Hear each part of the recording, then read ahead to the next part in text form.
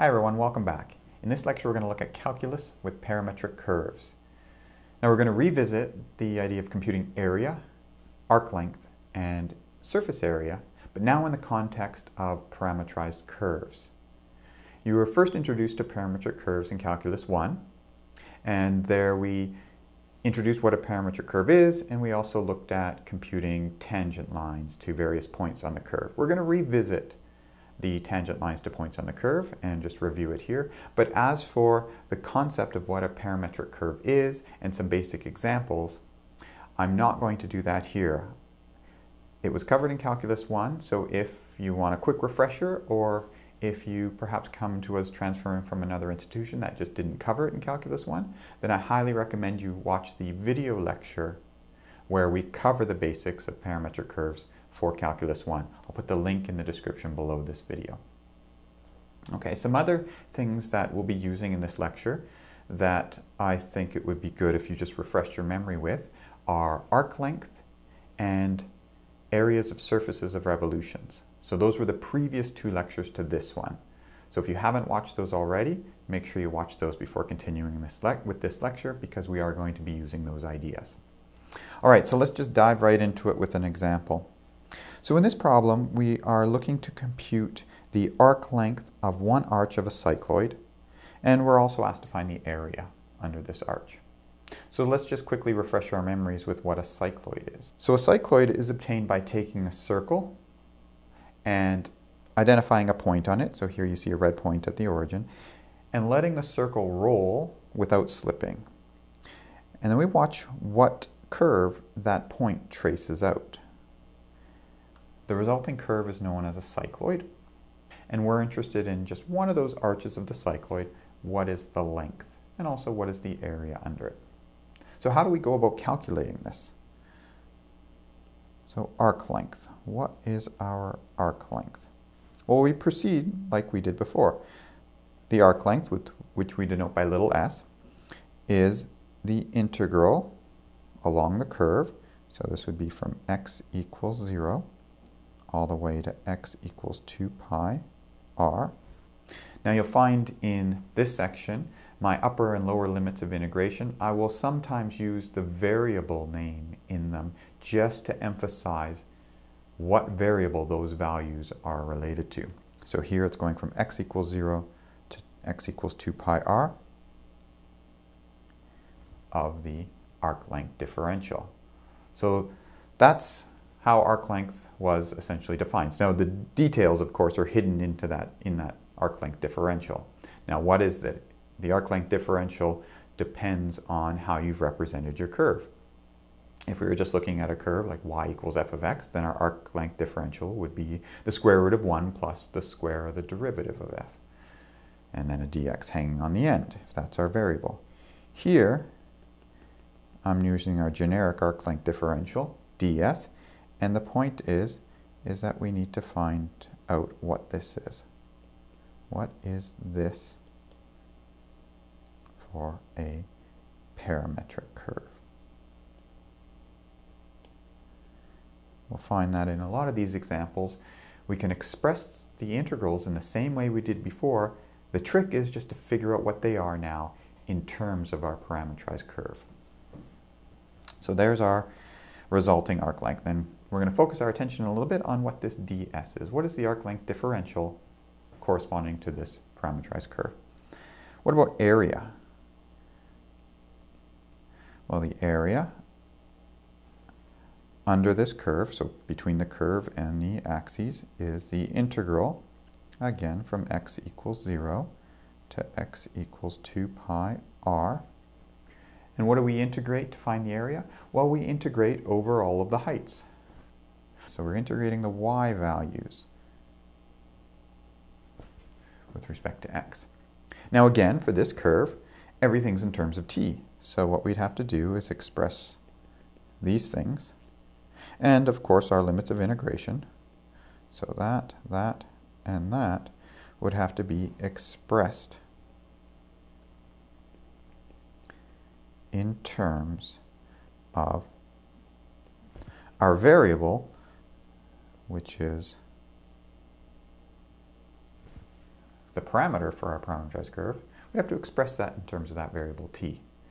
That's what we're going to focus on first. We know the form that the integral has to take for either the arc length or the area problem. We now just have to figure out how to write it in terms of the parameter t.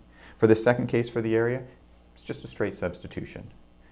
We need to figure out how to deal with the y and the x in terms of t, but we have how x and y are defined in terms of t in the parameterized curve. So it's going to be a substitution. And as for the arc length differential, again, we'll figure that out.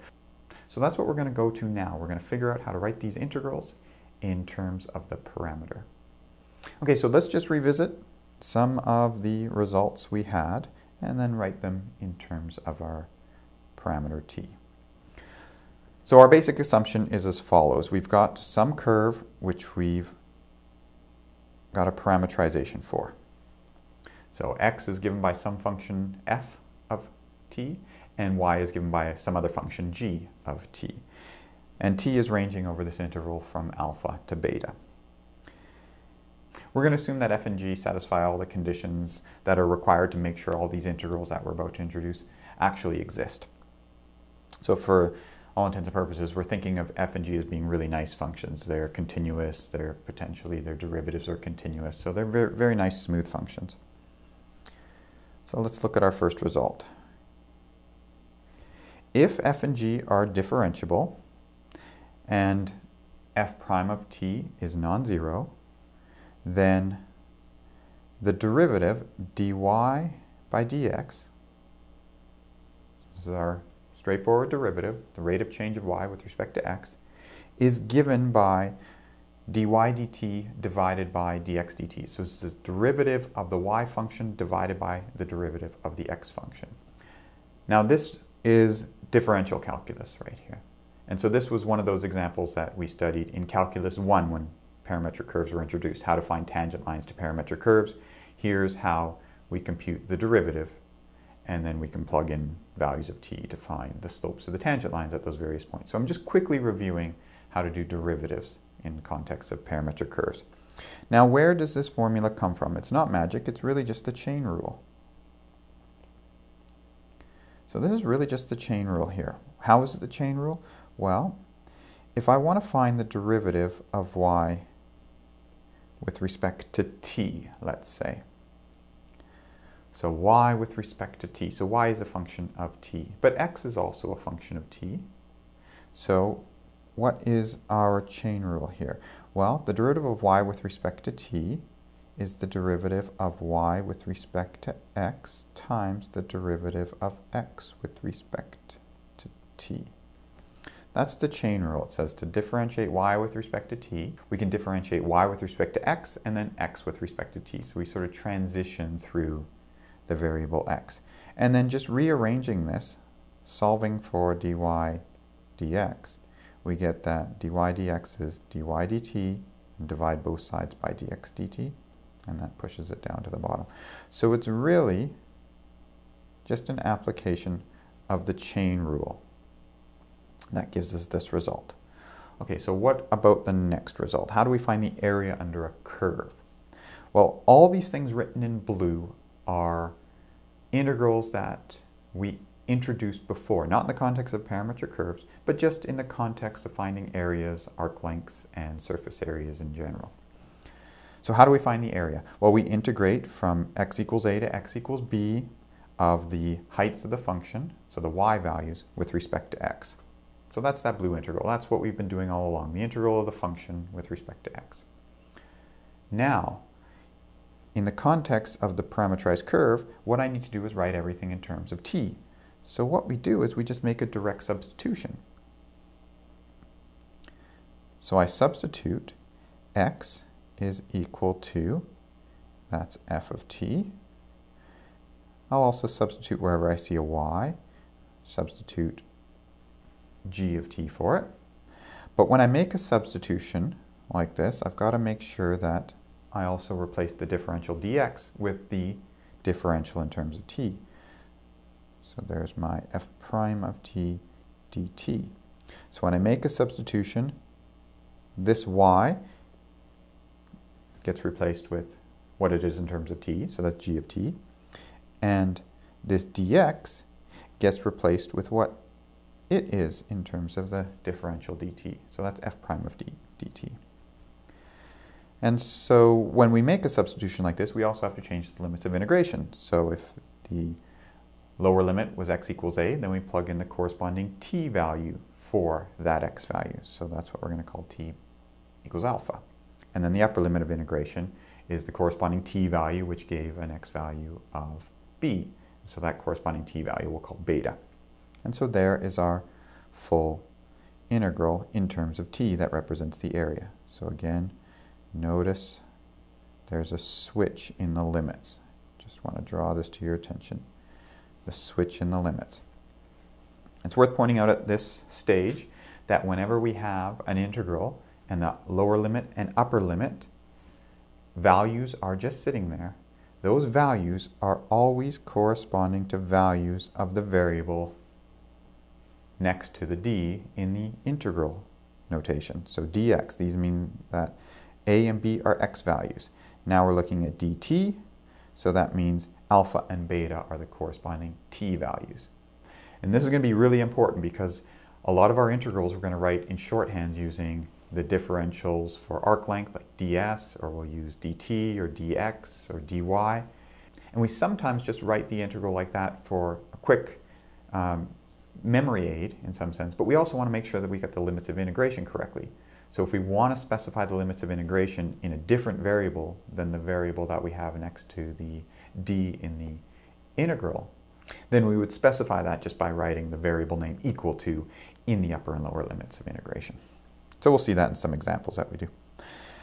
If f prime and g prime are continuous on the interval alpha beta, and c is traversed exactly once as t increases from alpha to beta, then the length of the curve is given by well, again, the integral given in blue is the one we already know. We integrate from x equals a to x equals b of the arc length differential. So this is our arc length differential ds. So that's the integral we know already. In the context of a parametrized curve, we can write it as the integral from alpha to beta of the square root of the f prime, so the derivative of x with respect to t, that's f prime. So the derivative of the x function squared plus the derivative of the y function squared, square rooted, dt. So how do we make this transition from variables involving x's and y's to the arc length formula involving the parameter t? Well, let's just quickly see how. And this is actually going to be also be used in the next one for surface area. So let's look at the arc length differential. So what is our arc length differential? Well, it's written above. It's the square root of 1 plus dy by dx, all squared dx. How do we turn this thing into an expression involving the variable t? Well, the thing to note is that dy dx, the derivative of y with respect to x, in terms of t is, by item 1 above, it's dy dt divided by dx dt. So what we do is we substitute this, so maybe I'll write this over here, substitute this into ds. So we have that ds is equal to the square root of 1 plus dy dt over dx dt all squared dx. And now I'm just going to do a bit of algebra in what's under the square root. So I can put them over a common denominator. I get a dx dt all squared plus a dy dt all squared. I still have that dx hanging along outside. Under the square root sign, I have this dx over dt all squared in the denominator here. So I can pull it all the way out. And so it will come all the way out as a dx over dt, but it's no longer squared because I've pulled it all the way out of the square root. So the square root of dx by dt all squared just comes out as dx by dt, but it's in the denominator now. So a little bit of algebra. Now I notice that thing on the end. I've got dx divided by dx by dt. Just rearranging that a little bit, we see that the dx's cancel. And what's left with is just a dt. So I can think of, I'm dividing by dx d, by dt, that's like multiplying by the reciprocal, by dt over dx. So the dx is canceled and we're just left with the dt. So there is our arc length differential expressed in terms of the variable t. It's a very nice one to remember. The arc length differential, ds, is the square root of the rate of change of x squared plus the rate of change in y squared, dt. And again, if you remember back to how we derived the formula for an arc length and where this arc length differential comes from, it comes from the Pythagorean theorem. The sum of the squares of the two legs, the change in x and the change in y. So that's the rate of change in x, the dx by dt, the dy by dt, the square of those two things added together gives me the length of the hypotenuse, and that is essentially the square of the arc length. So this is where it's coming from again, just to, to refresh your memory. If you don't remember that, then go back and rewatch the arc length uh, video lecture. Okay, so there's our arc length differential. That's precisely what is appearing here now. So the ds, we've just replaced it with what it is in terms of our variable t. The other thing to note is now that t is our variable of integration, our limits of integration better be in that variable. So these are the alpha and beta values that corresponded to the x values of a and b. What about the area of the surface? The area of the surface, again, it's the integral, we recall this before, from before, it's the integral of 2 pi y, so here we're, we're looking at the surface being revolved around the x-axis. So it's 2 pi times the height, that'll be the radius of the circle that you get when you do the rotation. So it's 2 pi times the y value, times the arc length differential, times ds. And in this case, y is given by, so there's our y value, it's given by g of t. Our arc length differential in terms of t is given by this. And our limits of integration should be the corresponding t values. So again, let me just rewrite it out here. We're really just using the fact that this is the integral from x equals a to x equals b of 2 pi times the y value, since we're revolving around the x-axis, times the arc length differential. That's the general form that we have in all cases. In the particular context where we're dealing with a parametrized curve, we replace the corresponding y values and the ds values with the corresponding functions in terms of the variable t. All right, so again, I went through these in sort of perhaps excruciating detail, but the point is, is that they are all the formulas that we remember from before, all these things in blue, just updated now to be represented in terms of the variable t, the parameter of the parameterized curve. So let's do a bunch of examples.